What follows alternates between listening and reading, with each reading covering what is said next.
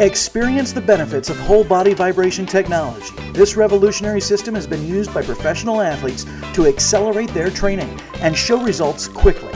And since it activates your entire body, you will feel energized as you increase your metabolism, tighten your muscles, and improve your circulation.